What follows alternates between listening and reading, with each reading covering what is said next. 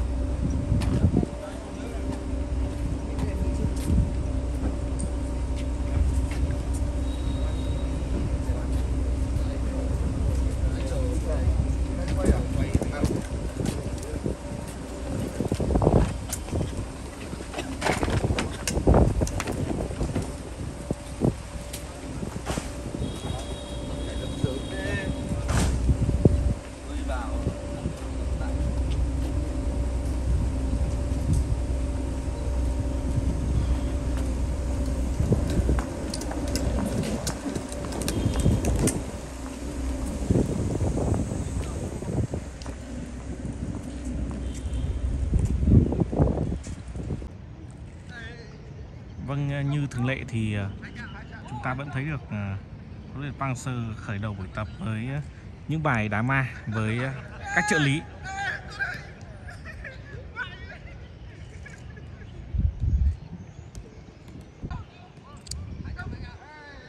Khá đáng tiếc khi ở đợt tập huấn Vũng Tàu này, theo như mình cảm nhận thì việc không có khán giả cũng là một khiến cho cái cái cái cái cái nhà nào nhỉ?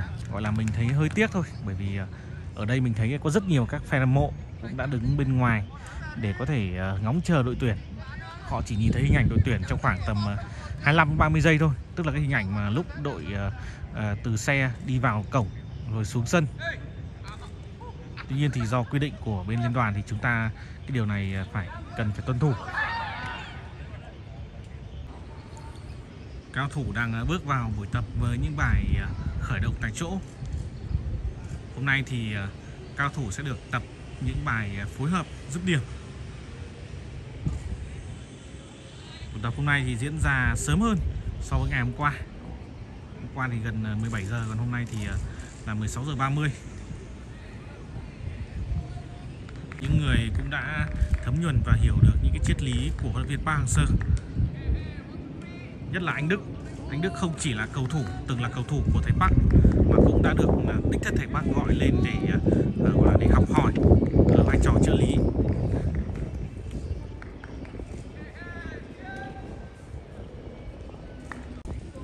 Trong khi đó thì Bùi Tiến Dũng vẫn đang phải tập riêng với các bác sĩ. Còn Thành Trung, người tập với bác sĩ ngày hôm qua thì nay đã trở lại tập bình thường cùng với những người đồng đội của mình.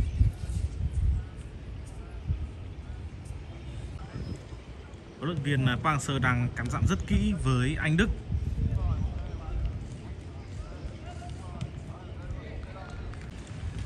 Dự kiến thì huấn luyện viên Park Hang-seo sẽ trở về Hàn Quốc trong vòng 3 ngày và đến ngày mùng 7 thì uh, uh, chiến lược gia Hàn Quốc sẽ trở lại Bà Rịa Vũng Tàu để tiếp tục uh, công việc của mình.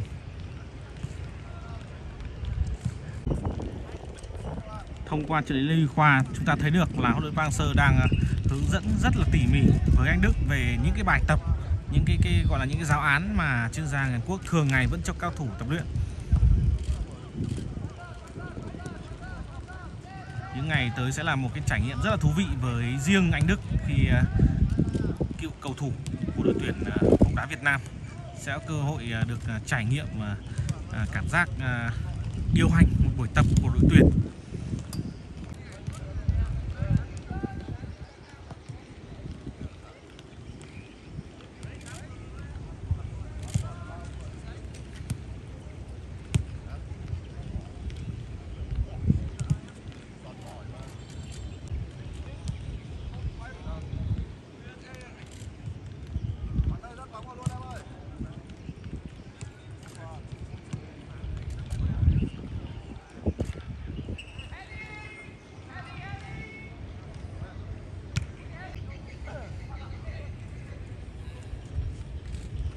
Nay thì ờ, bốn thủ môn của tuyển Việt Nam sẽ luyện tập với những chiếc ờ, hình nhân.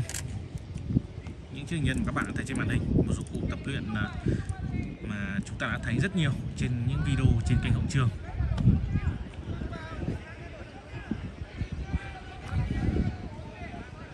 Trong số các thủ môn ờ, mà của đợt tập huấn lần này thì nếu mình nhớ không nhầm thì có Văn Hoàng với Nguyên Mạnh chỉ có Văn Hoàng Nguyên Mạnh là hai người đã từng à, à, tập huấn Vũng Tàu ở năm ngoái.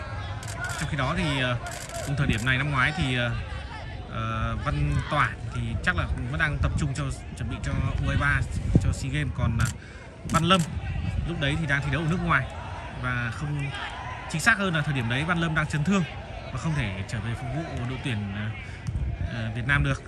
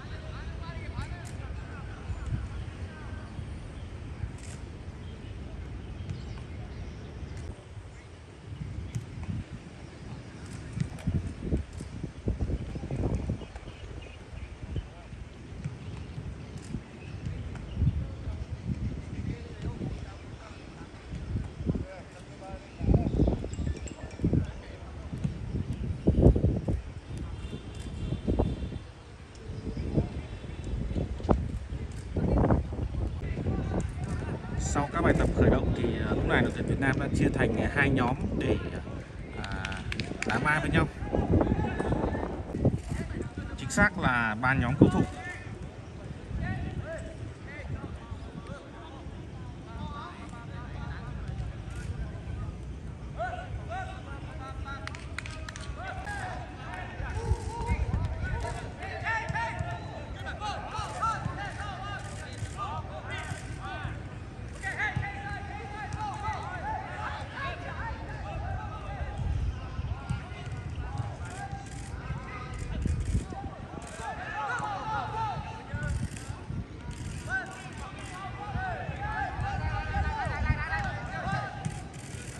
Vâng và vừa rồi cũng là những hình ảnh cuối cùng có trong video.